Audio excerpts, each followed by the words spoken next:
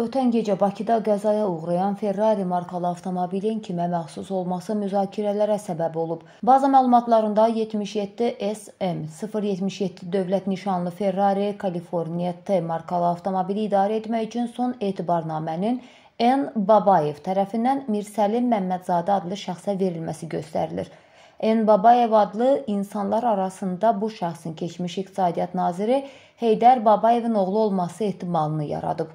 Məsələ ilə bağlı Baku Postazın əməkdaşı araşdırma aparıb və məlum olub ki, həmin avtomobilin keçmiş nazirlə heç bir əlaqəsi yoxdur. Gürcüstan vətəndaşı olan Babayevin adı Nazməddin kimi qeyd olunub. Bu şəxs maşını etibarnamə ilə Yasamal rayonu qeydiyyatında olan Mirsəlim Cəlil oğlu Məmmədzadə adlı şəxsə verib.